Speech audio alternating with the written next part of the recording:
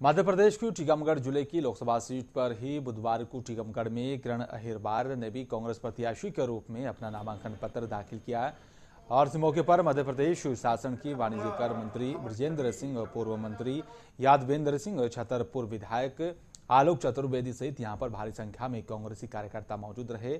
आपको बता दें कि नामांकन दाखिल करने से पहले ही यहाँ पर किरण अहिरबार ने राजेंद्र पार्क में जनसभा को संबोधित किया और जिसको लेकर कांग्रेस की कार्यकर्ताओं में भी खासा जोश यहाँ पर देखने को मिला है। और इसके बाद ही राजेंद्र पार्क से सीधे पैदल जुलूस में जाते हुए टीकमगढ़ कलेक्ट्रेट पहुँचे जहाँ पर उन्होंने अपना नामांकन दाखिल किया। हमारा यही रहेगा कि यहाँ पर मेडिकल कॉलेज खोलना है हमको। दूसरा रोज़गार के साधन उपलब्ध कराने हैं और पानी की समस्याओं को दूर करना है। जो वर्तमान संसद हैं आप उन्हें किस मुद्दों पर घेरेंगी? देखिए उन्होंने कोई काम किया नहीं है। बहुत सारी चीज़ें हैं उनके लिए तो